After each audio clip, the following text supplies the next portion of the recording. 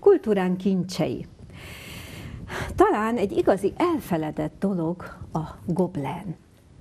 Sokszor mondjuk, hol jól, hol rosszul ejtjük ki, valójában egy francia szó, leírva gobelin, kiejteni goblennek ejtjük, és nem is gondolnák, hogy hazánkban is micsoda múltja, története van, és hogy jelen pillanatban is vannak, akik ezt művelik, méghozzá igen magas szinten, Szeretném bemutatni önöknek vendégemet, németné Jancsi Ilonát, akit incinek becéznek, és gondolom, hogy nagyon szerethetik önt, mert amit nekem most itt mutatott, hogy ön mi mindennel foglalkozik, ez szívet, lelket melengető, szemet gyönyörködtető dolog.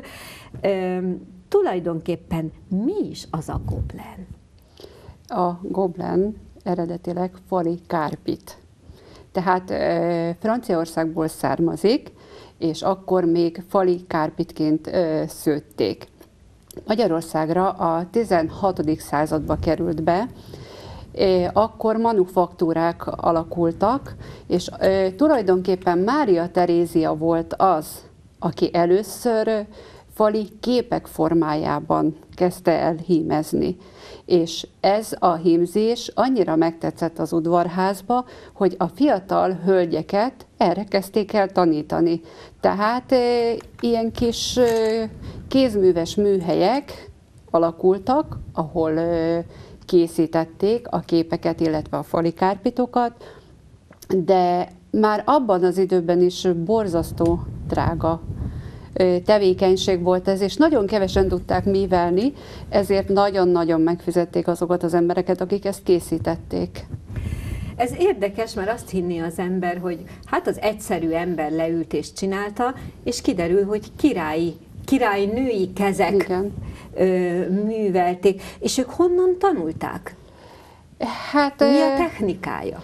Tulajdonképpen ez Magyarországon a keresztemes hímzésből alakult ki a magyar úri hímzésből, ez a félkereszt öltés, amit lehet látni.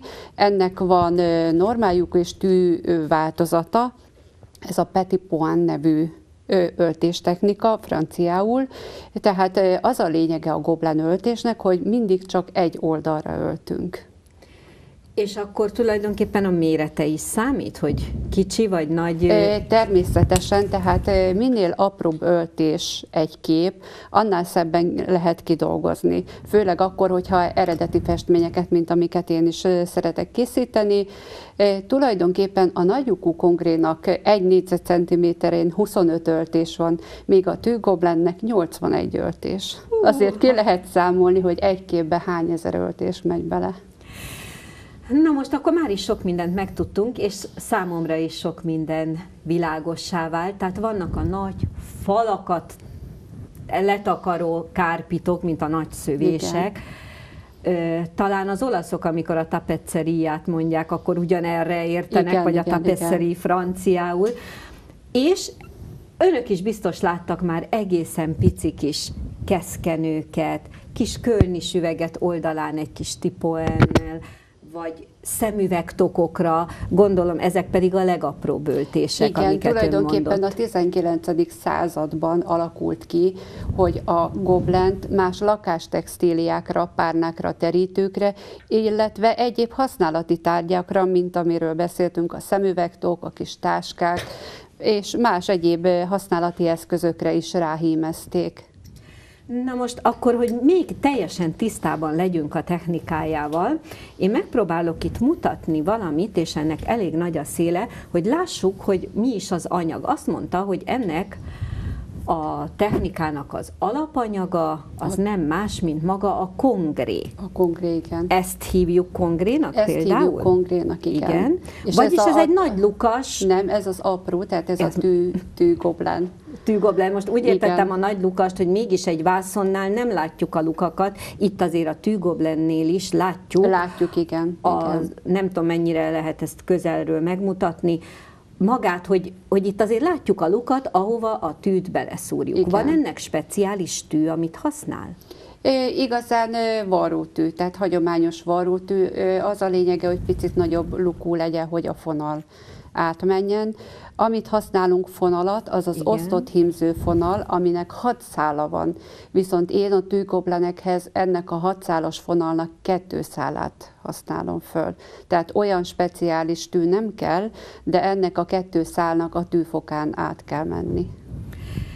Na most, ha megnézzük a másik oldalát, szinte kiadja ugyanazt a képet, tehát annyira gyönyörűen van eldolgozva, hogy az ember el se hinné, hogy így lehet, ö, gyönyörűen látszik, hogy csomózás, vagy, vagy a végén csomózunk, amikor a cérna elfogy, hogy történik maga? Az elején csomózok, tehát mikor elkezdek egy szint hímezni, a végén pedig csak elhúzom a szálat az előző öltések alatt akkor ez azt jelenti, hogy itt praktikus, hogy aki esetleg kedvet kapna egy-két ilyen műhelytitkot is megtanuljunk incitől, hogy praktikus egy szint egyszerre megcsinálni, hiszen azért ez tényleg olyan, mint egy festmény, amit egy tűecsettel értem, hogy hogy lehet ilyen gyönyörű szépségeket csinálni, de hogy, hogy cérnával ennyire kihozni, például itt egy Krisztus arca szenvedés, hát gyönyörűséges.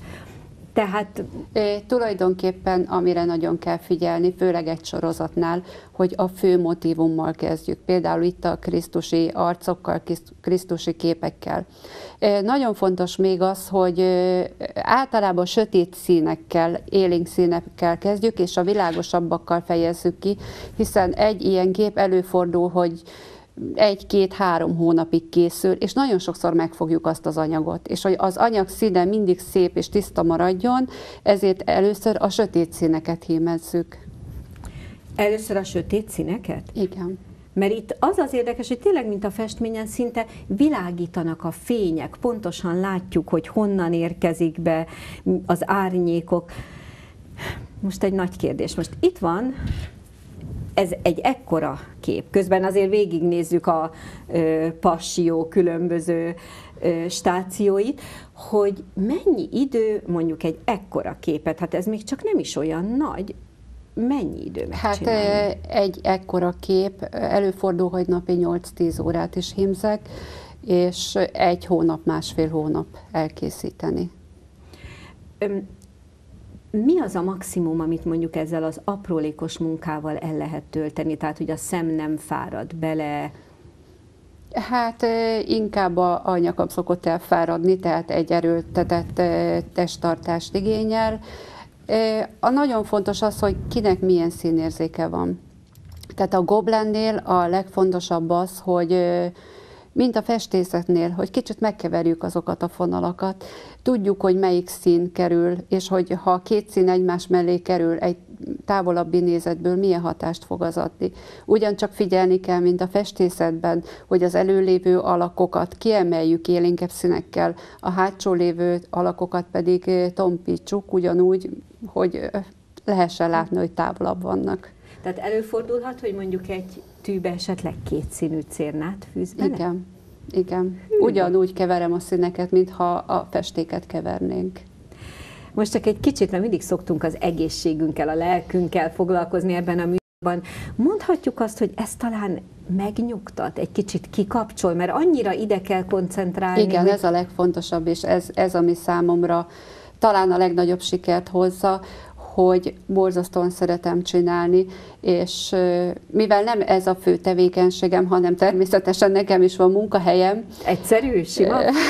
hát vasútnál, vasútnál vagyok forgalmi szolgálattevő, tehát egy igen férfias beosztásom van, ahhoz képest leülni és egy nőies, pihentető dolgot végezni, ez, ez nagyon ö, fontos számomra, és igazán kikapcsol. Tehát azért van az, hogy mikor van egy pici szabadidőm, és bizony sokszor az alvás rovására is éjszakákat hímzek. Ez olyan, mint az olvasás, hogy van, amikor nem lehet abba hagyni, igen, mert ezt igen. még befejezem, ezt még csinálni. ezt a kendőt végigcsinálom. Igen, igen, ez így, így De működik. nem forgalmi szolgálat közben csinálja.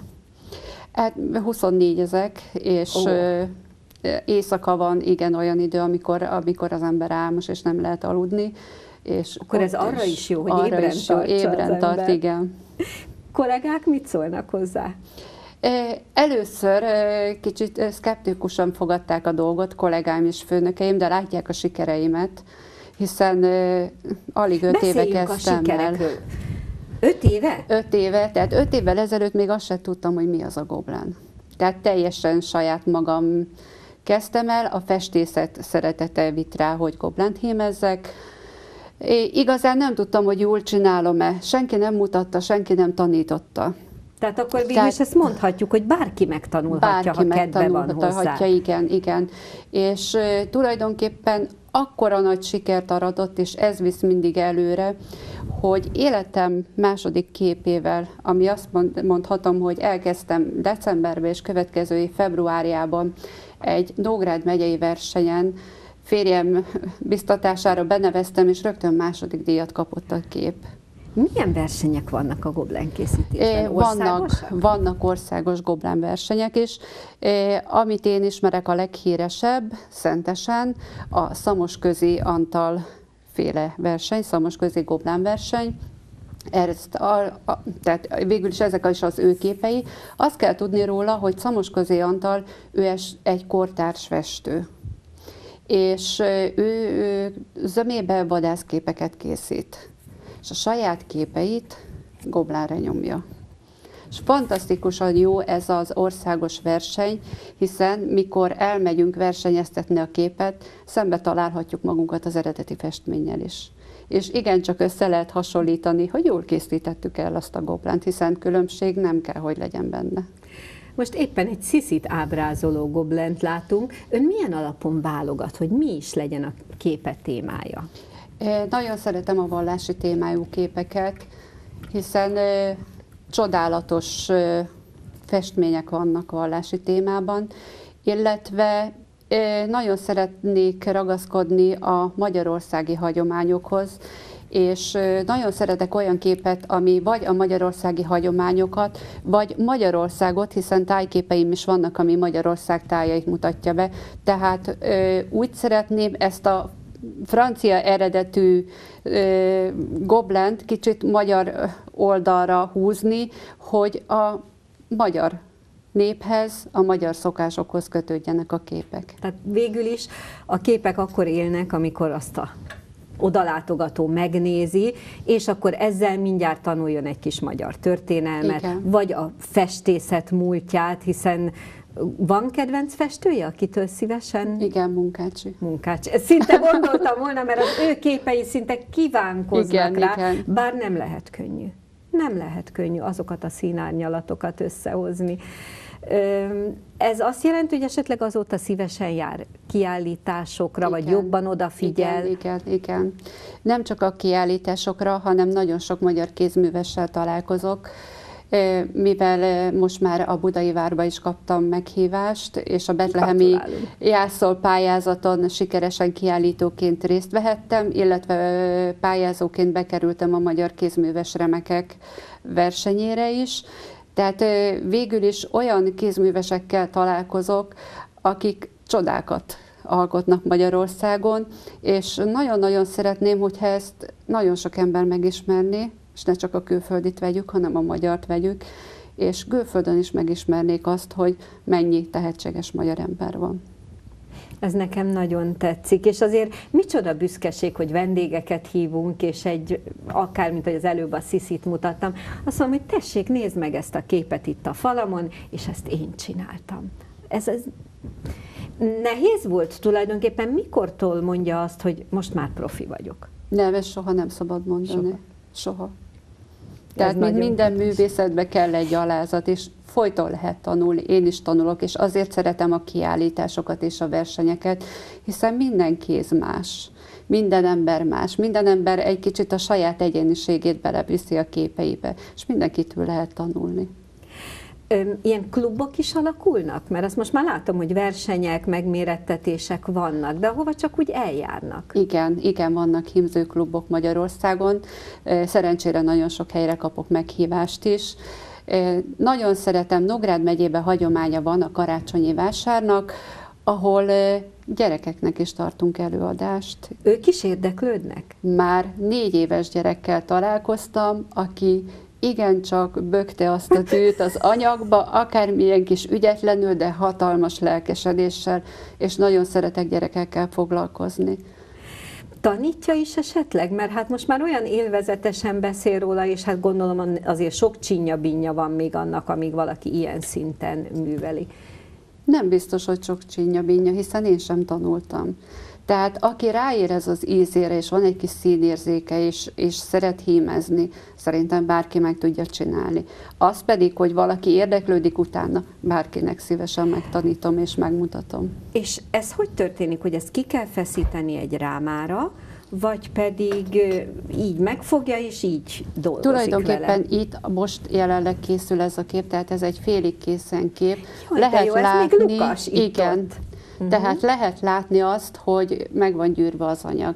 És épp amit mondtam, hogy én nem feszítem ki sehová, hanem mivel sokszor veszem föl egy nap, inkább összetekerem, és mindig ott az adott mintánál hímzek.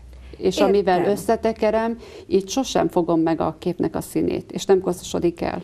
Akkor bocsánat, ha én most esetleg megérintettem Nem, őket. sem probléma. rá. Mm, tehát itt látszik, hogy itt még, még hiányzik egy csomó. Hát Igen. még jó sok munkaóra lesz vele, de köszönöm, hogy ilyet is láthattunk. Ö, hogy néz ki otthon a lakása? Mindenütt? Kongrék vannak, meg fonalak? E, tulajdonképpen nem. A lakásban van egy pici sarok, ahova én félre tudok húzódani. Van egy kis lámpa, ami pont a kezemre világít, mert a világítás nagyon fontos. Ugyanis nappali fénynél nem úgy látom én sem a színeket, mint villanyfénynél. Érdekes, hogy a goblen az, ami természetes fénynél nem igazán jó Tehát igényli az erős megvilágítást, igényli az erős, maga igen, igen, igen, igen. És ezek a mostani különböző körték, meg ilyen-olyan energiatakarékos izzók megváltoztathatják a igen, színeket? Igen, Tehát nagyon sokat tud ajánlani, számít. hogy milyen mellett ér, minél természetesebb fény. Minél természetesebb fény, igen. igen. Ez a 5000-5600 fölöttinél szokták mondani, hogy hasonlít a természetes fényre, de hát... Na, akkor kérek egy kis útravalót mindannak, aki esetleg szeretné elkezdeni, és azt mondja, hogy na, ezt én is megpróbálom hol, hogy jusson hozzá? Hova menjen? Bármelyik textilboltban megkapható az alapanyag. Tulajdonképpen bárkinek ajánlom, hogy próbálja meg. Egy egyszerű kis virágmintával, vagy egy pillangóval, egy kis képecskével, nagy lukóval, és az első elkészült kép megadja azt az alkotás örömét, hogy biztos mindenki kedvet kap hozzá. Hát kedves Incike, én nagyon-nagyon köszönöm, és remélem, hogy egy kis szépséget is csempésztünk most ebbe a blogba. Sok sikert, és Köszönöm a szépen.